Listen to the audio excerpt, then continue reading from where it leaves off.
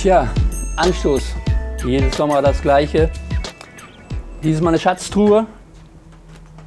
Der letzte Anstoß letzten Jahr.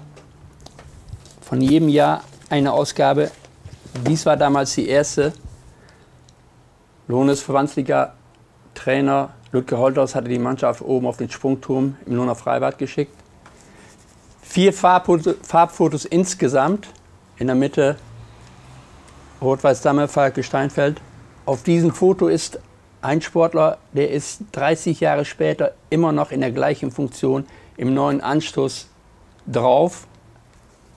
Hinten das vierte Foto, das war's an Farbe. Sonst alles nur schwarz-weiß. Walter Zwick.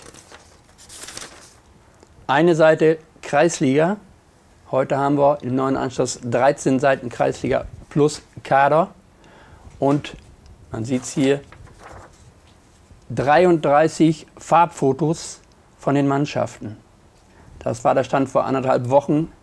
Die roten Termine mussten noch besetzt werden. Das wichtigste Foto ist natürlich das Titelfoto. Ich habe mich entschieden für ein Foto aus dem Testspiel Lohne gegen Dinklage bei Amasiaspor Lohne.